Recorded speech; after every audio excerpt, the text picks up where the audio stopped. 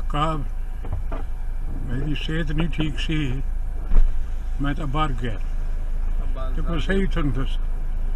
ਮੈਂ ਤਾਂ ਉੱਥੇ ਹੀ ਰਿਹਾ ਮਸਕਰ ਬਹੁਤ ਉਹ ਜੇ ਦੇਖੋ, ਇੱਕੋ ਇੱਕ ਪਾਰਟੀ ਹੈ, ਸ਼੍ਰੋਮਣੀ ਅਕਾਲੀ ਦਲ। ਜਿਹਨੇ ਜੇ ਪਾਰਟੀ ਹੋਈ, ਤਾਂ ਪਾਰਟੀ ਦਾ ਕੰਮ ਜੋ ਹੁੰਦਾ ਹੈ, ਉਹ ਵੱਧ ਤੋਂ ਵੱਧ ਕੀਤਾ। ਮਤਲਬ ਜਿੱਥੇ ਬੇਇਨਸਾਫੀ ਹੋਈ, ਭਾਵੇਂ ਹਿੰਦੁਸਤਾਨ ਨਾਲ ਬੇਇਨਸਾਫੀ ਹੋਈ ਭਾਵੇਂ ਪੰਜਾਬ ਨਾਲ ਬੇਇਨਸਾਫੀ ਹੋਈ ਉਹਦੇ ਖਿਲਾਫ ਜਿਵੇਂ ਐਮਰਜੈਂਸੀ ਸੀ, ਕੋਈ ਪਾਰਟੀ ਲੜ ਨਹੀਂ ਸਕੀ, ਸਿਰਫ ਆਪਾਂ ਮੋਰਚਾ ਲਾ ਕੇ ਅਸੀਂ 19 19 ਮਹੀਨੇ ਕੈਦ ਚ ਫਿਰ ਪੰਜਾਬ ਦੇ ਮਸਲੇ, ਚੰਡੀਗੜ੍ਹ, ਪਾਣੀਆਂ ਦਾ ਮਸਲਾ, ਪੰਜਾਬੀ ਬੋਲਦੇ ਇਲਾਕਿਆਂ ਦਾ ਮਸਲਾ, ਲੈ ਕੇ ਬਹੁਤ ਵੱਡਾ ਮੋਰਚਾ ਲਾਇਆ ਔਰ ਉਹਦੇ 'ਚ ਲੱਖਾਂ ਬੰਦੇ ਗ੍ਰਿਫਤਾਰ ਹੋਏ। ਪਰ ਉਦੋਂ ਦੇ ਪ੍ਰਾਈਮ ਮਿਨਿਸਟਰ ਨੇ ਸੰਤਰ ਚੰਦ ਸਿੰਘ ਲੋਗੋਰਾਲ ਨੂੰ ਧੋਖਾ ਦਿੱਤਾ। ਗੱਲਾਂ ਮੰਨ ਕੇ ਮਗਰੋਂ ਮੁੱਕਰ ਗਏ। ਫਿਰ ਪੰਜ- ਮਤਲਬ ਐਜ਼ ਪਾਰਟੀ ਜਦੋਂ ਗਵਰਨਮੈਂਟ ਸੀ, ਉਦੋਂ ਇਹੋ ਜਿਹੀਆਂ ਚੀਜ਼ਾਂ ਕੀਤੀਆਂ ਜਿਹੜੀਆਂ ਕਦੇ ਕੋਈ ਸੋਚ ਨਹੀਂ ਸਕਦਾ।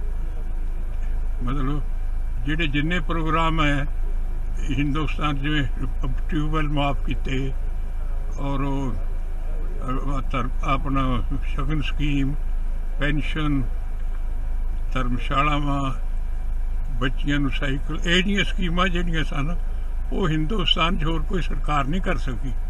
ਇਹ ਅਸੀਂ ਕੀਤੀਆਂ। ਆਟਾ ਦਾਲ ਸਕੀਮ ਕਿੰਨੀ ਵੱਡੀ ਸੀ, ਇਹ ਵੀ ਅਸੀਂ ਕੀਤੀ। ਮਤਲਬ ਜੋ ਵੀ ਲੀਡ ਦਿੱਤੀ ਡਿਵੈਲਪਮੈਂਟ ਵਾਸਤੇ ਜਾਂ ਸੋਸ਼ਲ ਵੈਲਫੇਅਰ ਵਾਸਤੇ, ਉਹ ਅਕਾਲੀ ਦਲ ਇਸ ਕਰਕੇ ਜੇ ਇਸ ਗੱਲ ਨੂੰ ਲੋਕਾਂ ਨੇ ਸੋਚਣਾ, ਹੋਰ ਤਾਂ ਕਿਸੇ ਪਾਰਟੀ ਨੇ ਕੁਝ ਨਹੀਂ ਕੀਤਾ। ਆ ਕੇਸਰੀਵਾਲ ਹੈ, ਇਹਨੇ ਤਾਂ ਦਾਵਾ ਕਰ ਛੱਡਿਆ ਕਿ ਪੰਜਾਬ ਦੇ ਜਿਹੜੇ ਸਾਡੇ ਸਾਰੇ ਥਰਮਲ ਪਲਾਂਟ ਹੈ, ਬੰਦ ਕਰ ਦਿਓ। ਵੀ ਸਾਨੂੰ ਧੂਆਂ ਆਉਂਦਾ ਹੈ। ਆ ਕਿਸਾਨ ਮਜਬੂਰਨ ਅੱਗ ਲਾਉਂਦੇ ਆ ਇਹ ਵੀ, ਇਹ ਉਹਨਾਂ ਨੂੰ ਫੜੋ, ਜੁਰਮਾਨੇ ਕਰੋ, ਸਖਤੀ ਕਰੋ। ਮਤਲਬ ਪੰਜਾਬ ਦੇ ਹੱਕ ਦੇ ਕੋਈ ਨਹੀਂ। ਜੜ ਜੇ ਪੰਜਾਬ ਚ ਹੈ ਤਾਂ ਸ਼੍ਰੋਮਣੀ ਅਕਾਲੀ ਦਲ। ਇਹ ਸੋਚ ਕੇ ਤਾਂ ਮੇਰਾ ਖਿਆਲ ਹੈ ਕਿਸੇ ਨੂੰ ਪੰਜਾਬੀ ਨੂੰ ਦੂਜੇ ਪਾਸੇ ਵੋਟ ਨਹੀਂ ਦੇਣੀ ਚਾਹੀਦੀ ਔਰ ਮੈਂ ਖਿਆਲ ਹੈ ਮੇਰਾ ਕਿ ਸ਼੍ਰੋਮਣੀ ਅਕਾਲੀ ਦਲ ਦੀ ਸਰਕਾਰ